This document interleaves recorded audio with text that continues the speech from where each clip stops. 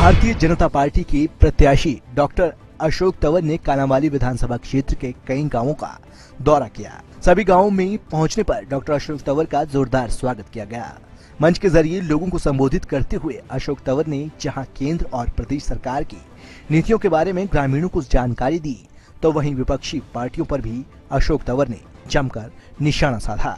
प्रचार है। आज खेरेका के अंदर मैंने अभी गिनवाया। करोड़ों रुपए के विकास कार्य हुए। पीछे सारनी गाँव में गए। सारनी में छह करोड़ रुपए का वाटर वर्क बना, जो पानी के यहाँ भी तीन किलोमीटर से पाइपलाइन ला करके आप देखिए, आज़ादी से लेकर के जब तक मोदी जी नहीं आए, लोगों को पीने का पानी तक नहीं मिलता था। घरों में शौचालय तक नहीं होते थे। लोगों की पक्की छत नहीं थी। उनको भोजन समय पर नहीं मिलता था।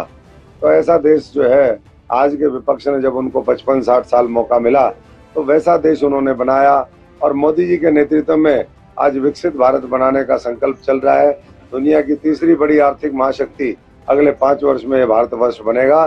तो उसमें मैं समझता हूँ कि किसान, नौजवान, हमारी माताएँ, बहनें, हमारे गरीब आदमी, हमारे कर्मचारी, उन सब के सपने जो है पूरे होंगे। इसलिए सपनों को हकीकत में बदलने वाले नरेंद्र मोदी जी की जो गारंटी है उसका साथ दें। इस दौरान अशोक तंवर ने कांग्रेस पर निशाना साधते हुए कहा कि कांग्रेस को जनता ने नकार दिया है और लगातार जनता बीजेपी के पक्ष में माहौल बना रही है।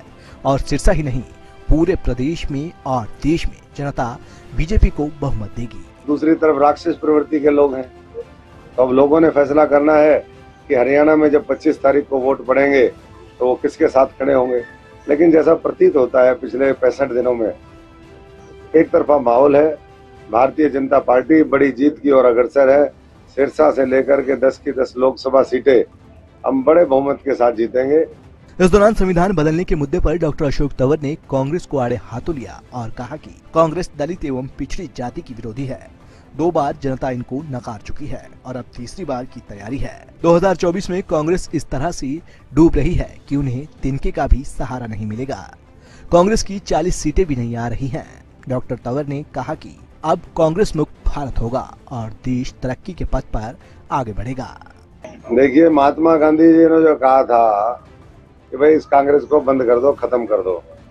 कांग्रेस खत्म होगी, देश का संविधान को कुछ नहीं होना। देश का संविधान तो लागू ही इन्होंने नहीं किया। ये बाबा साहब के जो है, कट्टर विरोधी रहे, ये दलित विरोधी रहे, ये पिछड़ी जातियों के विरोधी रहे। इन्होंने जो पीछे लोग थे, उनको कभी आगे आने ही नहीं दिया। तो ऐसी ताकतों को मैं समझता हूँ कि लोग दो बार इनको रिजेक्ट कर चुके, इनको, इनके ऊपर से विश्वास हट गया और अब तीसरी बार की तैयारी है। तो इसलिए खतरे में ये खुद हैं और ये कभी किसी का सहारा लेते हैं, कभी किसी का। और डूबते को तो ये ऐसे डूबने वाले हैं 2024 में, इनको तो तिनके का सहारा भी नहीं मिल रहा है।